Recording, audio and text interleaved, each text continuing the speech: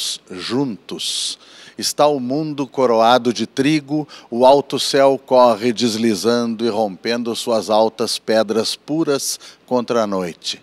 Apenas se encheu a nova taça com um minuto, que há de juntar-se ao rio do tempo que nos leva.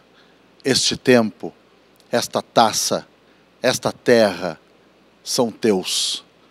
Conquista-os e escuta como nasce a aurora.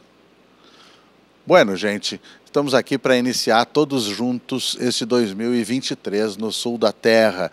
E é Neruda quem ergue a taça conosco e nos fala do rio e do tempo. Esse rio que nos leva. Outro poeta diz que o rio chorava falando com ele, porque, ao contrário do poeta, ele não podia voltar. A gente inicia esse tramo do nosso rio aproveitando esse poder de voltar e revivendo dois grandes momentos de arte e inteligência no nosso Cantos do Sul da Terra. São os dias em que nós tivemos aqui o violonista Rodrigo Nassif e o cantautor uruguaio Daniel Drexler. Vamos então meter o peito na água, começando com a participação bonita do Rodrigo Nassif. Que violão de gesto altivo é este do meu andar incapaz de refugar e recuar em seus motivos, campeador de sons nativos, nunca deixou que meus dedos lhe transmitissem meus medos de não escutar a terra, quando um canto antigo encerra o rumor de seus sentidos. Violão que me tapa o peito. Somos a casca um do outro. Ele com fúrias de potro, eu menos força e mais jeito, com recíproco respeito, sempre atentos ao sincero, vamos evitando os erros de quem se desencaminha, não ouve a terra madrinha e se extravia nos cerros. Violão cruzador de rastros dos que vieram antes de nós, parindo os próprios avós para ser dor e emplastro. Há um tempo vento e mastro, vela, revela que insiste sempre entre o sublime e o triste, que o passado é um belo mito, e o tempo, ao ser infinito, simplesmente não existe. Que violão tão reverente é o violão do meu andar, incapaz de se afastar do seu destino semente, madeira e carne de gente, perseguindo uma só glória, de repontar a memória da terra virada em povo, fazer do eterno novo e achar o canto da história. Bueno, gente, esse violão e eu peço licença para vocês por ter trazido uma cevada de palavra de autoria minha, essas, essas décimas sobre o violão, são para a gente apresentar melhor a esse tremendo violonista, esse grande músico, essa grande figura que é o Rodrigo Nassif. Que prazer estar aqui contigo. É um favor, prazer todo meu. É uma alegria poder participar do Cantos, agora na versão televisiva porque quando a gente é freguês também a alegria é redobrada, né? E eu como sou um grande freguês aí, tanto sempre fui, né, do programa na rádio e agora do programa na, na versão televisiva, então a gente fica, uh, como dizer assim, como é que é aquela palavra que me foge agora? Embevecido. Tá aí. Gostei de ver, embevecido é ótimo. E na verdade, tu tu és um cara que está sempre em contato ali, né, mandando mensagem, participando daquele Cantos do Sul da Terra que aqui está, quer dizer, dentro da, da linguagem do espaço televisivo, é mais ou menos a mesma, a mesma proposta. E a gente, quando faz um programa, seja no rádio, seja na TV, e o convidado tem algo legal para anunciar, para chamar as pessoas, a gente sempre discute, pensa qual é o melhor ponto da nossa conversa, já que a gente gosta das conversas espontâneas, não ensaiadas nem muito preparadas, para que esse cara dê esse recado.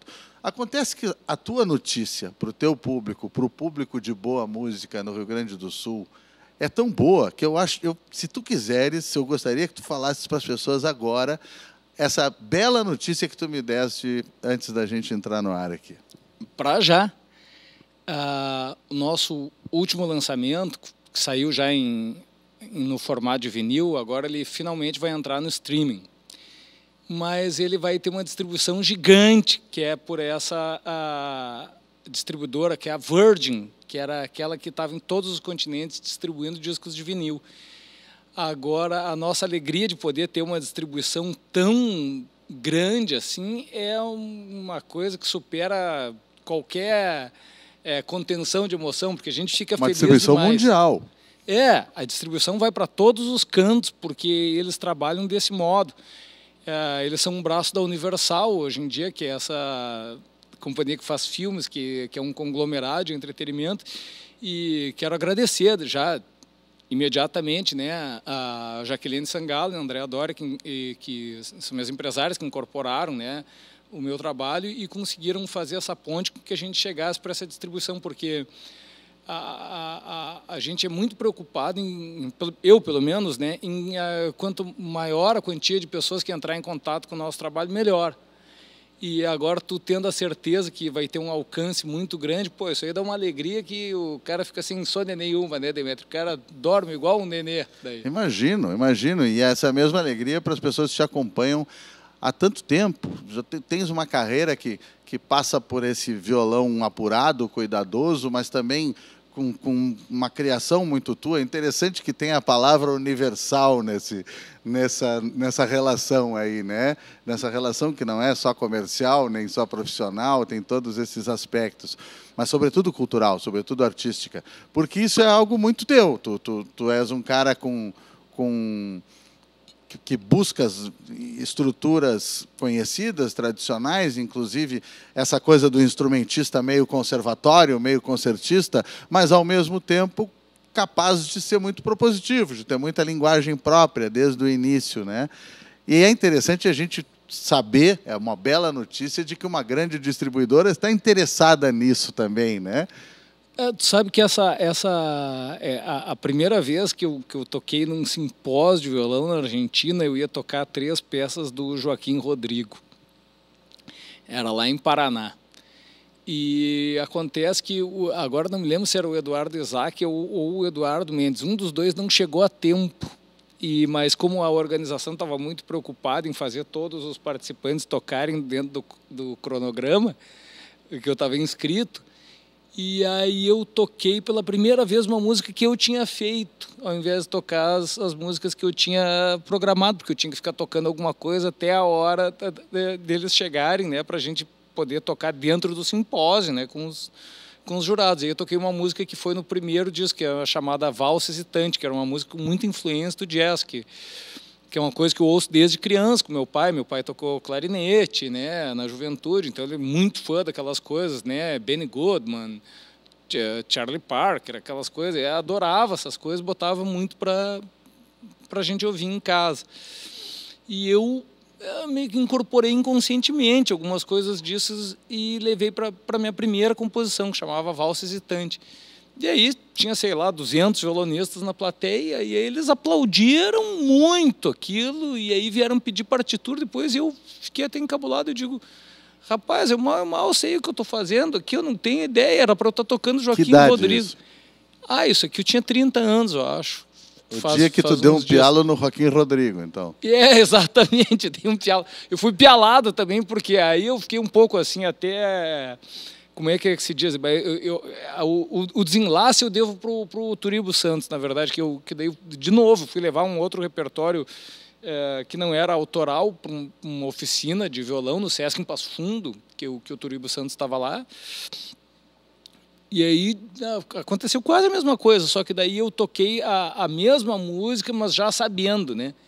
E aí o Turibo Santos pegou e falou assim, rapaz, que coisa linda essa tua música. Daí eu disse assim, é sério isso, seu Turibão? É sério mesmo? Ele disse assim, ah, nem toca as outras.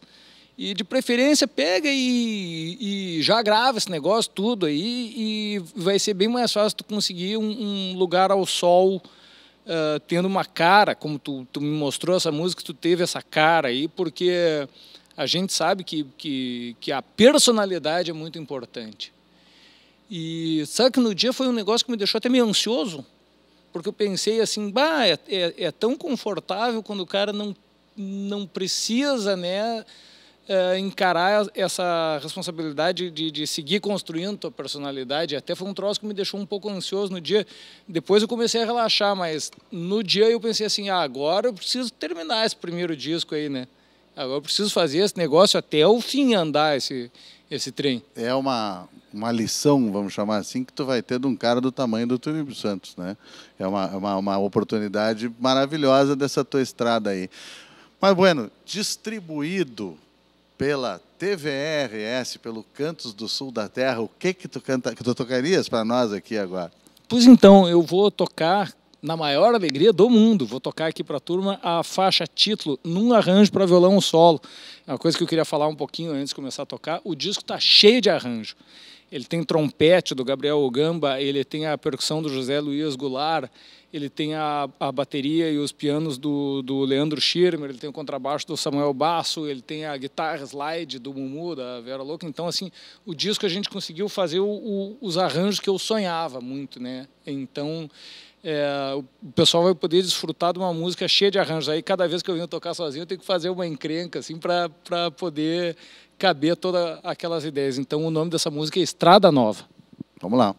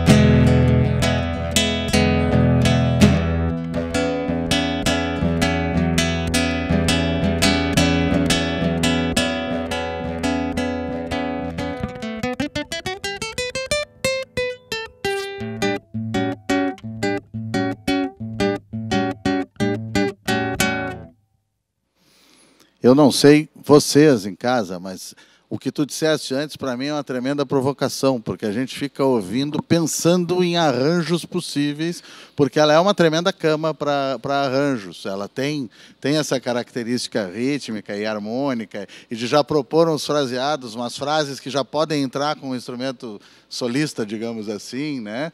Realmente dá muita ideia na, na cabeça quando a gente escuta, né?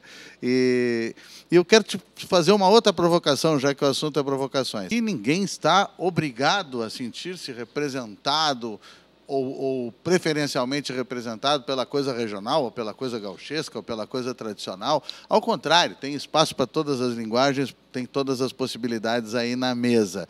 Mas pela tua geração, por ser um cara que vem de Passo Fundo para a fronteira, para Bagé, tem essa história regional gaúcha no teu molho, na tua, na tua trança, na tua composição? Ah, mas essa é a provocação mais fácil de responder do, do, da galáxia. Tem como não ter? Não, né?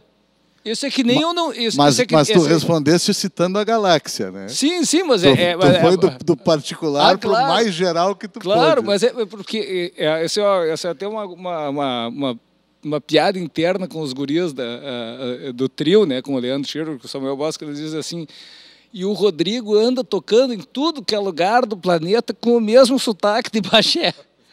E vai, toca, faz show no. no daí, se é- para falar outro idioma, daí tira o sotaque né, de Bagé, mas quando volta a pensar em português, né, ou a cara do, do o vento minuano está estampado no, no, na- no- no idioma do sujeito. Não, nem tem para quê, né?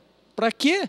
Né? Porque a- a- ultimamente a, a coisa que mais me diverte na hora de compor é mesclar com ritmos do Nordeste e ver o que, que tem de machixe aqui no Rio Grande do Sul, o que, que tem de, de, de, de, de, de ritmo de sopapo que, que combina, que fecha muito bem com o baião, o que, que fecha com essas coisas é, da turma do Nordeste. E aí eu tenho encontrado pontes assim na rítmica que são coisas muito curiosas e que fecham muito bem. A música, eh, por exemplo, é essa aqui que eu vou tocar logo em seguida, que chama O Cheiro do Pão. Ela Que nome? É... Mas é outra curiosidade. É, esse disco ele foi composto ao vivo durante o período da pandemia, ao vivo, ao vivo na, online. Porque eh, dia 8 de, de março, se não me engano, foi decretado, de 2020, foi decretado o lockdown em, em Porto Alegre, quarentena. No dia 8 de março, eu planejei um, um, um lives todo dia, um projeto de, de, de, de financiamento coletivo para lives todo dia, para não ficar parado em casa. E que chamava ah, live todo dia, que eram 60 dias consecutivos. Se eu soubesse que dava tanto trabalho, que era tão cansativo, eu tinha prometido a metade, eu acho. Mas eu já tinha prometido 60, então eu resolvi cum- e cumprir a 60, e aí o, a proposta era compor ao, ao, ah, com o pessoal do outro lado ali online. E aí, tia, foi uma experiência tanto, porque assim, os dias que eu errava, a audiência ia lá em cima e o pessoal vinha e corneteava. E teve esse dia que eu comecei a improvisar essa música e ela apareceu como uma cruz, assim, de, de, de, de de um ritmo gaúcho com um ritmo do, do Nordeste. E eu tive uma experiência aí sinestésica nesse dia, que foi uma coisa assim, eu sentia o cheiro do pão que a minha avó fazia, a mãe do meu pai. Eu, eu tocava e vinha e eu eu até comentei com o pessoal, eu tô louco, acho, porque não tem ninguém fazendo pão, mas eu toco e sinto o cheiro E daquele, daquele pão, né? daquele pão, né? Que era o pão que ela fazia ah, do jeito dela, assim, e ela fazia formas para me divertir, fazia pão de cavalinho, fazia Em Passo Fundo é Bagé? Não, isso lá em Palmeira das Missões, né? Porque ela, ela morava em Palmeira das Missões, a mãe do meu pai. O meu pai, de vez em quando, estava mexendo em alguma panela, cozinhando alguma coisa, ou mesmo quando assava uma carne, ele dizia: escuta o cheirinho. Vamos escutar o cheiro do pão? Ótimo! Vamos lá.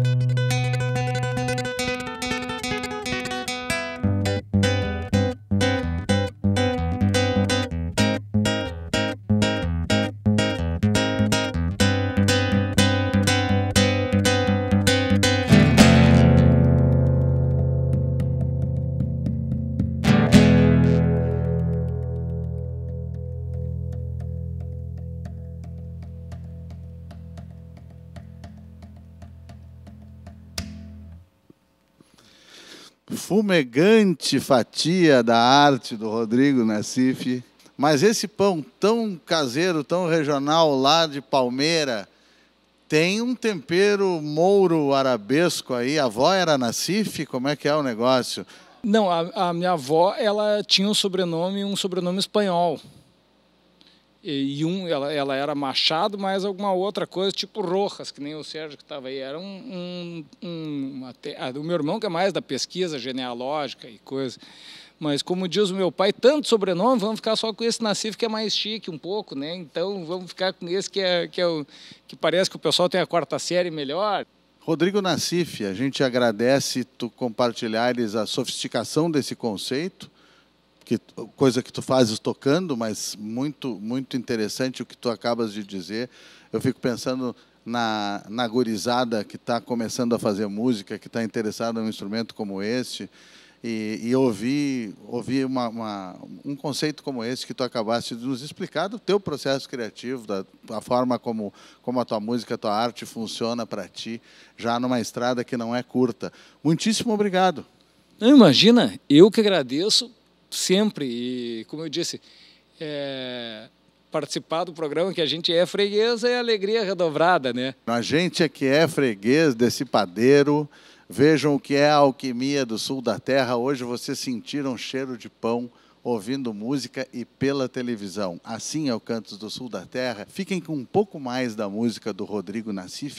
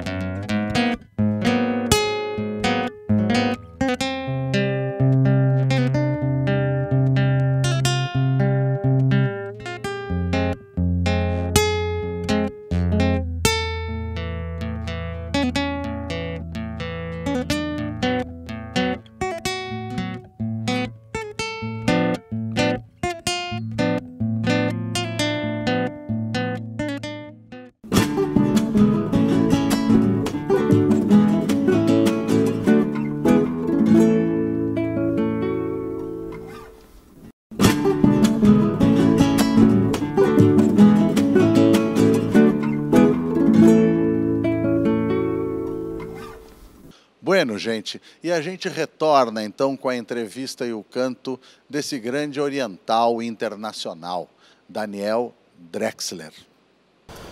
Eu não estudo as coisas, nem pretendo entendê-las. As reconheço, é certo, pois antes vivi nelas. Converso com as folhas no meio dos matos e me dão sua mensagem às raízes secretas. Bueno, gente, eu escolhi esses versos de Atahualpa Yupanqui para apresentar um pouco, para trazer, fazer uma pequena introdução para alguém com quem nós vamos conversar e que, ao contrário, estuda muitas coisas. Está antenado tanto para a mensagem das folhas e das raízes, quanto para a mensagem dos livros e dos mestres, enfim, da pesquisa, da investigação, da ciência, da intuição. Eu pensei em apresentá-lo assim por causa de um de um conceito que ele está trazendo e que o está trazendo atualmente na sua carreira e na sua vida. Eu tenho a alegria de estar aqui nesse lugar natural, bonito, com alguma coisa do nosso ambiente do Cantos do Sul da Terra na TV, com o meu querido amigo e com o grande artista Daniel Drexler. Prazer. Prazeraço. E que bom estar aqui, não? Que bom, né? Eu já me sinto lá no verão, Estou com muita vontade. Eu gosto muito de, de botar o pé no chão quando estou cantando. Seja na areia ou seja aqui na. Como chama isto? Pinocha? Como chamam vocês? A agulha do pinheiro, né? a palha do pinheiro. Palha do pinheiro, isso. E tu disseste que tu tens um lugar teu que tem mais ou menos essa, essa fisionomia, né? Justamente. La Serena, que é o sítio onde a gente se encontra todos os anos, de 28 de novembro até o 10, 11 de janeiro, lá na beira do mar, em La Paloma. E aí, aí tem muito gaúcho que vai para lá. Muito, muito amigo, tenho muito amigo que nossa, nossa amizade se terminou de concretar nossos encontros que vem acontecendo já faz mais de 10, 15 anos. Pois é, a gente, há, há poucos dias a gente falou com, com uma dessas pessoas, dessas tantas pessoas que se relacionam musicalmente e, e, enfim, que são teus amigos já há vários anos, que foi o Marcelo Delacroix. A gente conversou com ele aqui no Cantos do Sul da Terra. Mas são muitos, né? Já são várias parcerias gaúchas, né? Muito, muitos anos. É, muita gente indo para lá e depois também começou a chegar gente do, do centro do país, do, Rio de Janeiro, de São Paulo, de Curitiba, de BH, de, de todo o país. Todo o país a gente está chegando para lá e também do outro lado, da Argentina, do Chile, do México, Peru, Colômbia, gente que vem da Europa também. É maravilhoso o que acontece lá. E normalmente o que a gente faz é roda de violão desse jeito do jeito que a gente está sentado aqui, não? com os pés no, um no chão, no fogo, no fogo aceso, um churrasco rolando ali. É bem bonito. Coisa bem boa. Quando eu falei para as pessoas, para ti, quando eu falei aqui sobre isso, de formas de aprender o mundo, de aprender a realidade, estudando, investigando, pesquisando, ou daquela forma que o Jupanque disse que para ele era a preferida, e eu disse que tu estavas trazendo um conceito e um conceito está te trazendo, esse conceito é entropia, né? que hoje é uma coisa central no trabalho que tu estás lançando e apresentando pelo mundo. Fala um pouquinho disso. Não, acontece que nada no universo tende-se a ordenar espontaneamente. Tudo, tudo tende. As coisas liberadas à sua própria evolução, elas tendem a se desorganizar. E eu me dei conta nessa, nessa etapa da minha vida que que na verdade a gente vive remando contra a correnteza, vive fazendo um esforço por, por ordenar as coisas, por, porque dessa ordem também depende a nossa felicidade, não? Do, da ordem dos vínculos, mesmo da ordem dos nossos corpos, os corpos funcionando como entidades biológicas complexas que são, eles exigem um esforço, um esforço diário por se alimentar, por dormir, por manter a glicemia no, na, na eh, no margem correto, o colesterol no margem correto, todo esse esforço que a gente faz todos os dias é na verdade um esforço que é como investir moinhos de vento, como falava o Quixote, não? É, é um esforço que ao final sempre a entropia vai vencer. A entropia leva tudo para o desordem no cosmos, é a força superior do cosmos, é a lei suprema do cosmos. E aí eu comecei a pirar com a ideia de que ela é quase uma deusa, uma deusa do Olimpo moderno, que a diferença do Olimpo dos gregos clássicos, ele não está habitado por Zeus, Dionísio, Afrodita, todas essas deidades que eles tinham, mas ele está habitado por cada uma das grandes leis da ciência. A lei da gravidade, a lei da evolução, a lei da relatividade. E tem uma que seria a lei suprema, e essa lei que eu eu odeio e adoro ao mesmo tempo, porque eu acho que ela é necessária, mas é uma grande deusa que está permanentemente levando tudo a seu desordem. E a gente está permanentemente lutando com ela. A vida é basicamente uma luta com ela. Não? Todo mundo sabe o que acontece quando você deixa de ordenar a cozinha um, dia, não? E aí outro dia dá preguiça e deixa dois dias, três dias. No quarto dia aí tem uma montanha de pratos sujos, a lixeira está desbordada, o cheiro da cozinha começa a invadir o resto da casa. A gente, quando deixa de fazer o esforço, tudo naturalmente se desorganiza. Se desorganizam os vínculos, se desorganizam as economias, se desorganiza a cozinha. E eu não estou falando que a gente não, não tenha que fazer esse esforço. Não, eu, eu acho que a gente tem que fazer esse esforço com, com amor, com criatividade, com poesia. A gente tem que dançar a vida até o final, mas sempre sabendo que a última voz nessa dança maravilhosa e maluca que é a vida é a voz da deusa entropia. Pois é, e tu falaste da, da voz da deusa entropia, e é muito interessante. A gente já conversou, conversamos, uh, enfim, fora de qualquer registro, mas também conversamos no rádio, no Canto do Sul da Terra, sobre essa coisa contraditória e bonita de da desordem ser ao mesmo tempo uma deusa e uma regra, uma grande regra. É, é, é estranho, né? É estranho, mas enfim. Uh, é real e tu disseste naquela ocasião que era a mais poderosa e a mais constante dessas deusas, tomando o lugar patriarcal daqueles Zeus do Olimpo, né?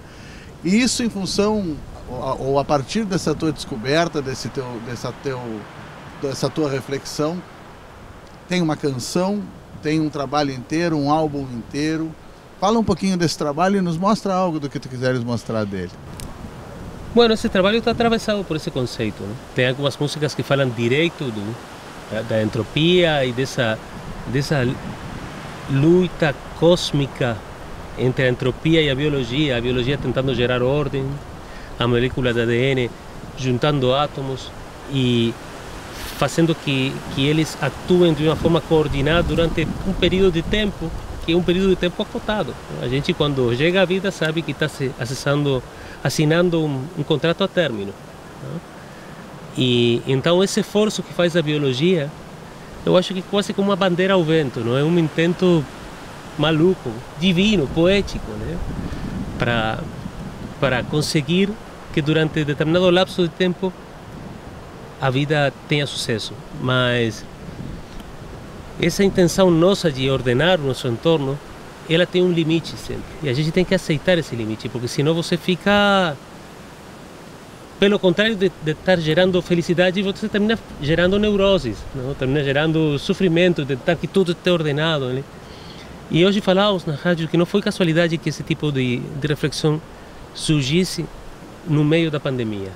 Porque aí eu acho que quando apareceu aquilo, aquela maluquice, o mundo inteiro quedou parado, toda a humanidade começou a, a tomar conta, não? a se dar conta de que nossa sensação, nossa sensação de ordem, de, de controle do que acontece é muito limitada.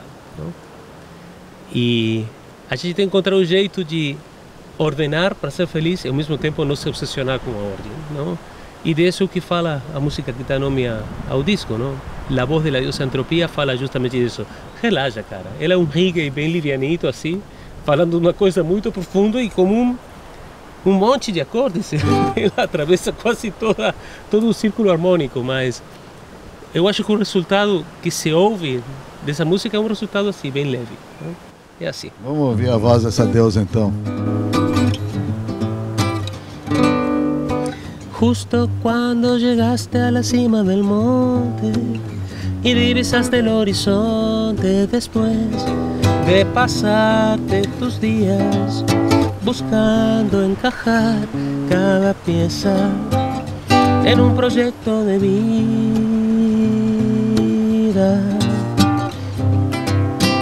Justo cuando sentías dominio del tiempo tecnología.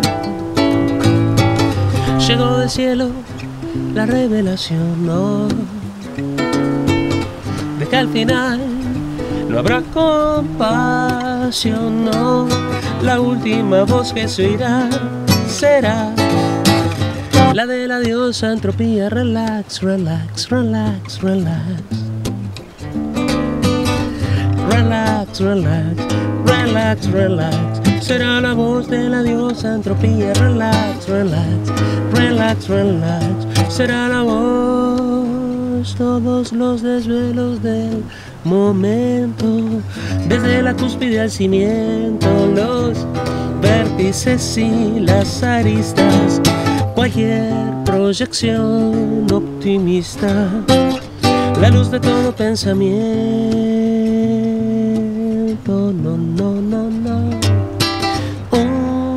a uno como granos de arena que se lleva el viento. Golpe a golpe todo caerá. Verso a verso, día tras día.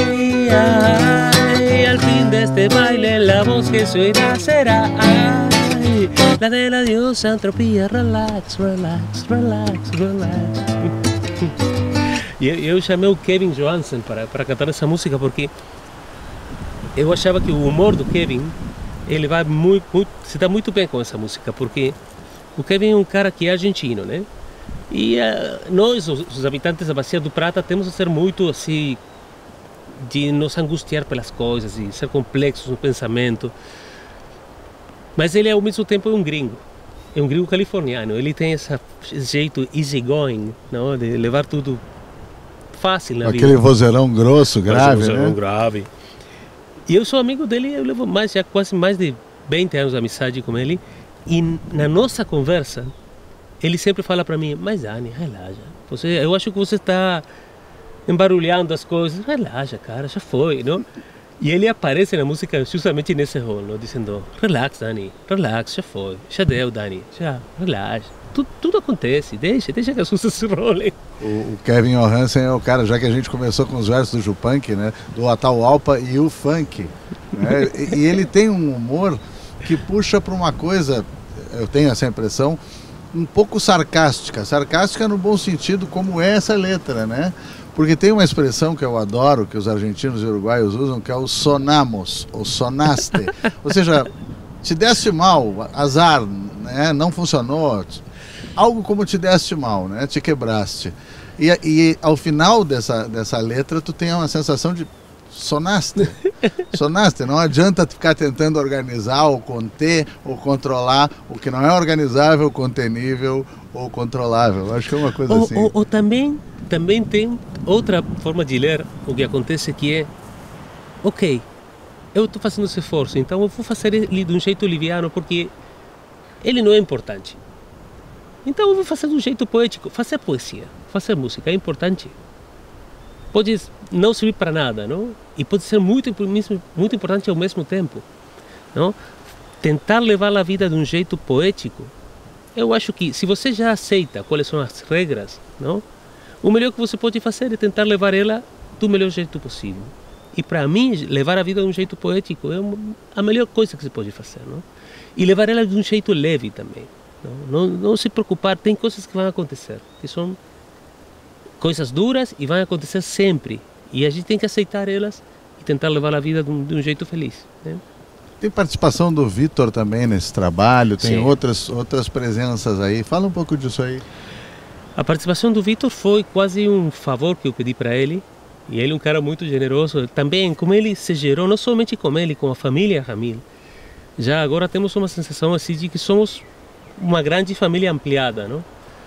Com ele, com Abel, com Jan, com eh, Clayton, com Cleidir, com, com, toda essa, com toda essa família maravilhosa que somos Ramil. E eu escrevi uma música que se chama E de Pronto, para refletindo sobre, a pandemia. E no final eu botei um texto que eu li do Instagram do Caetano Veloso. E eu achei esse texto muito claro, como ele é, não? com essa inteligência que ele tem para descrever as coisas, não? É, ele fala da maluquice das teorias conspiratórias e da natural confusão da ciência e que é muito importante em momentos de emergência ter uma posição clara. Não?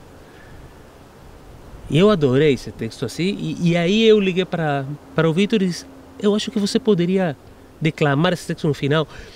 E além disso ele tem esse jeito gaúcho do sul do estado de declamar, não com essa voz.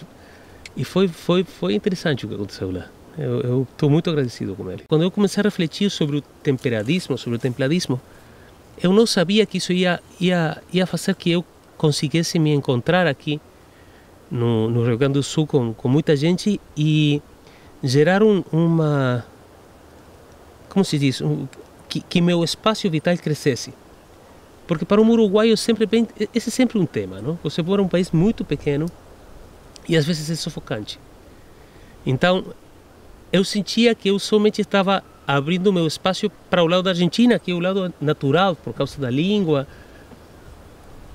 Era como se fosse uma hemiplegia, entende? Eu estava vivendo a vida para aquele lado. E aí, quando se começou a abrir o Rio Grande do Sul, aí eu comecei a sentir-me bem situado no mundo. Não? Esse é meu sítio no mundo. Aí quando chegou a pandemia, fiquei de novo sufocado e intenção de fugir do Uruguai novamente, mas agora se abriram de novo as fronteiras, eu estou muito feliz.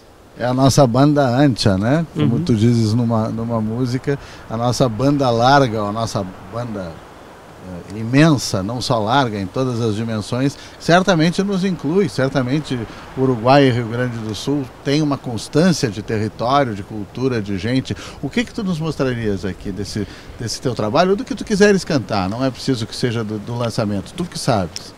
Um candombe novo que fala do temporal de Santa Rosa, eu acho que aqui no Rio Grande do Sul se chama desse jeito, que é um temporal muito forte que chega justamente no final do inverno e anuncia o início da primavera.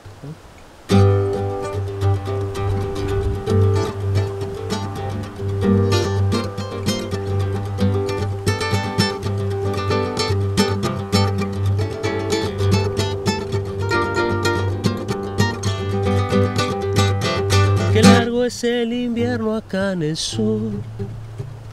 Vivimos esperando la carroza, rogándole a Mahoma o a Jesús que sople el temporal de Santa Rosa, Santa Rosa, Santa Rosa.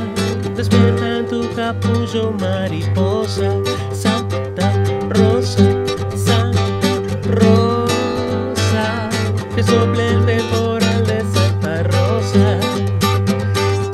Es el invierno acá en el sur.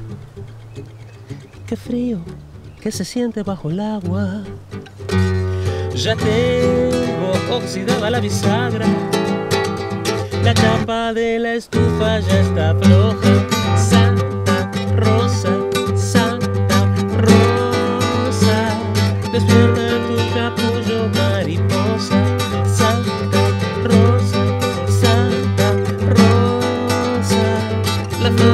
Del jardín ya están ansiosas. Santa Rosa. Bendito temporal, bendita luz que llega desde el sur, trayendo la ilusión de un nuevo cielo azul. Te quiero ver soplando en las esquinas, barriendo marquesinas hasta volver a renacer. Qué largo es el invierno acá en el sur. Me siento un vampiro musculosa, rogando que se abra el ataúd, soñando con que sopla Santa Rosa.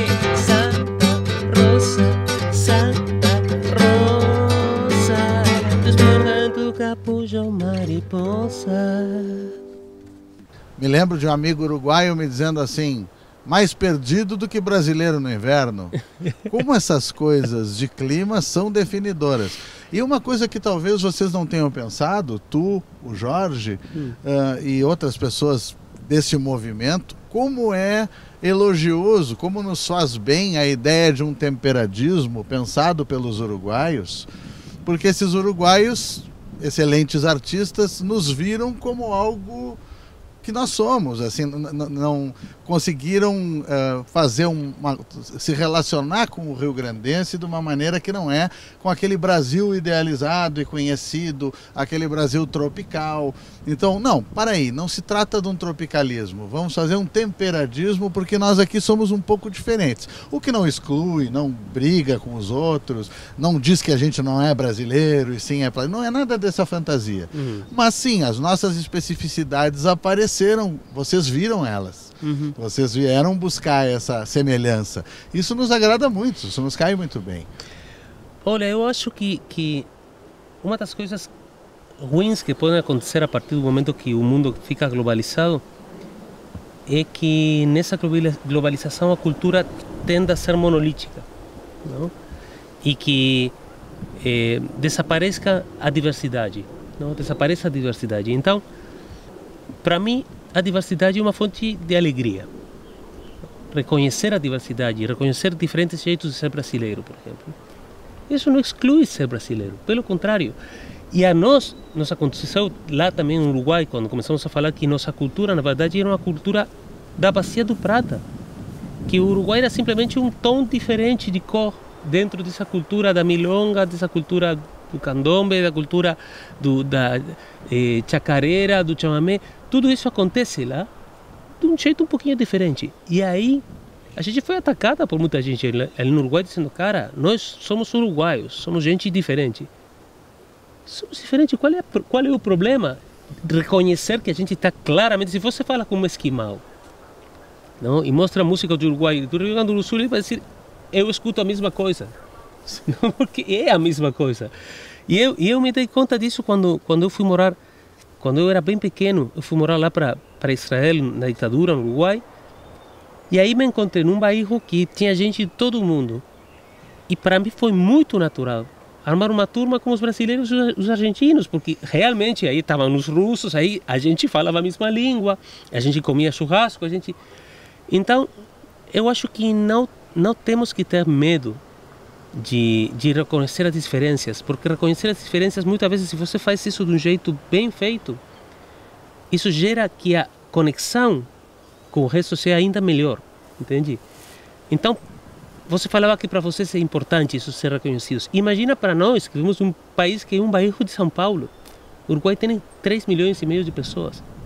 Eu agora saí de lá e tem 3 milhões 499, porque tem um menos. a gente conta de algumas pessoas. Desfalcasse um pouquinho a demografia. Uhum.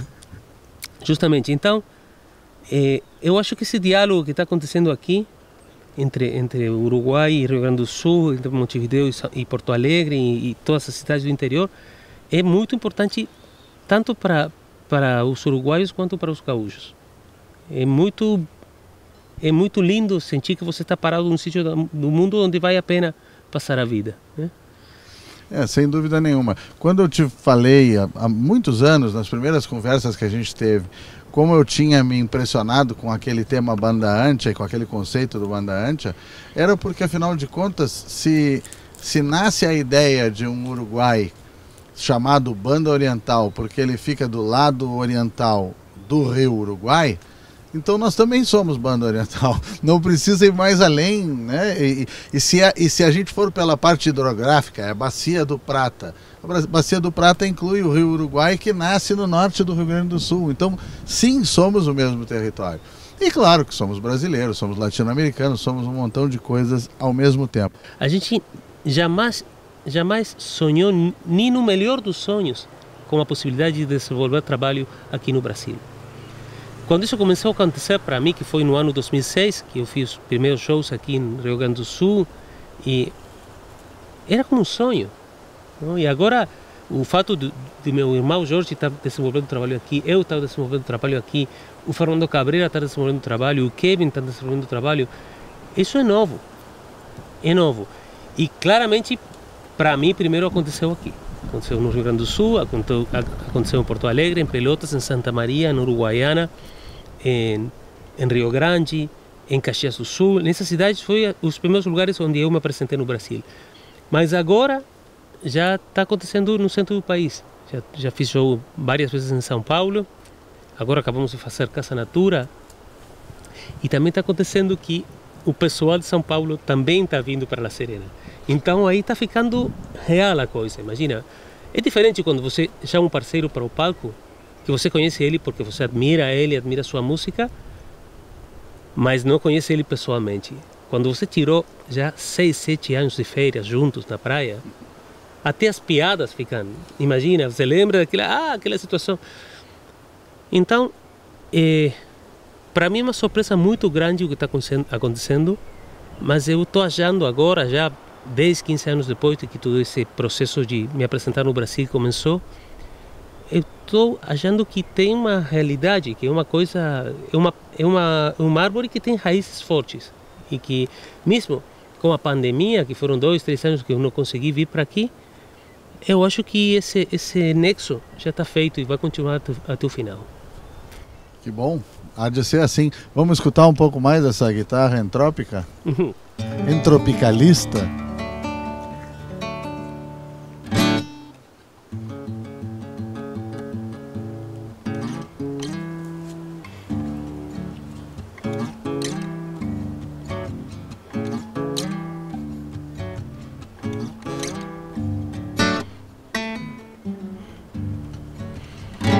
Las ganas de volver a verte aquí, sentirte palpitando junto a mí, las ganas de tu boca bien cerquita de mi boca.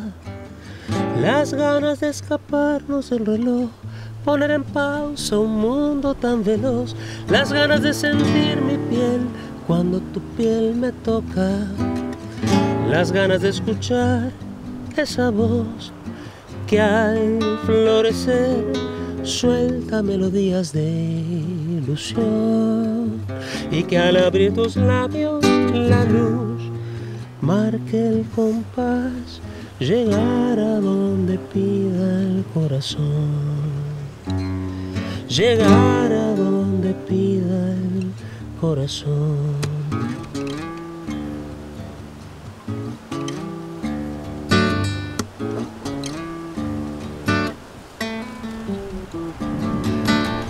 Fue todo tan intenso junto a ti, fue tanta la cordura que perdí, las veces que gimieron los resortes de esta cama. Tus piernas fueron punto cardinal, la llave del más bello manantial, oasis que abrevó mi boca envuelta en llamas. Me acuerdo de lo hermoso que fue verte reír cuando nuestro pecho se calmó. Qué ganas de volver a flotar en la ilusión, llegar a donde pida el corazón. Llegar a donde pida el corazón.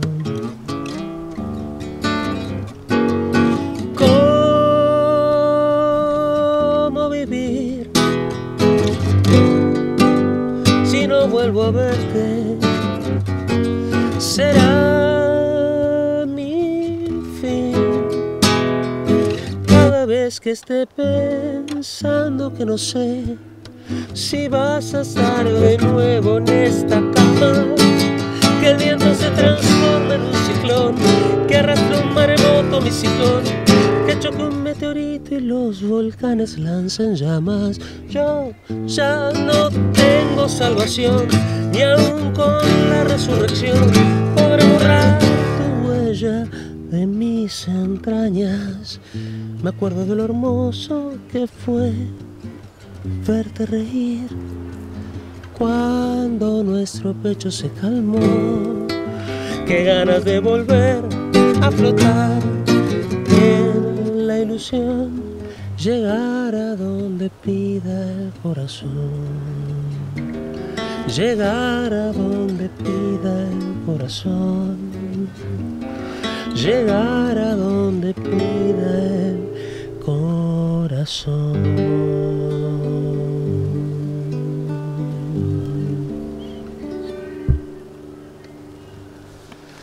Daniel Drexler, Daniel Drexler entrópico, Daniel Drexler, temperadista, templadista, estudioso e anárquico, científico e intuitivo, tremendo artista, tremendo papo que a gente teve aqui ao vento embaixo desses pinheiros. Muito obrigado. Eu gostaria agora que tu dissesses o que tu bem entenderes dizer para as pessoas e cantasse algo mais para nós. Muitíssimas graças. Não, eu estou muito agradecido com você porque sempre é um prazer. A gente se encontra cada três, quatro anos e é interessante o que acontece, não? Porque é como se a gente estivesse falando ontem de noite. Não sei, no meio aconteceram quatro, cinco anos, mas é uma naturalidade muito grande. Eu acho que, que a gente tem um jeito de olhar o cosmos muito similar, não? E para mim é um prazer e uma oportunidade muito boa poder falar com você. Eu sempre aprendo muitas coisas.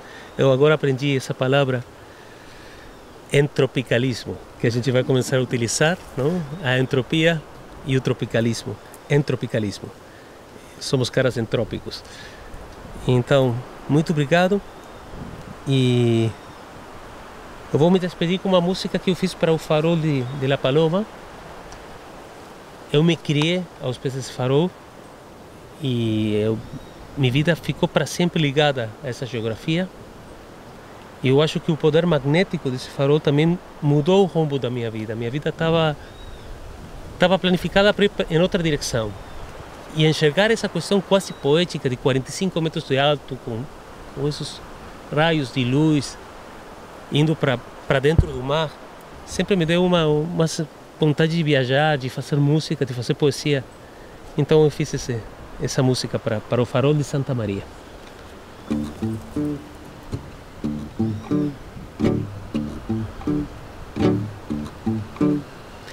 Faro de Santa María, alquimia de cielo, de roca y de sal, magnético punto de la lejanía, la perla del mar,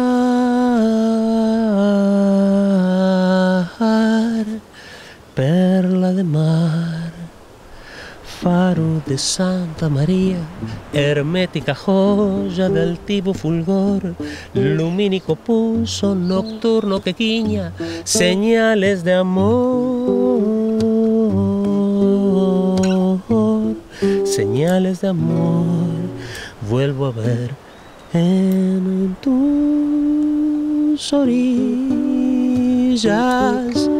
el pulso del imán que marcó la dirección de mi deriva. Ahora sé que sos el punto cardinal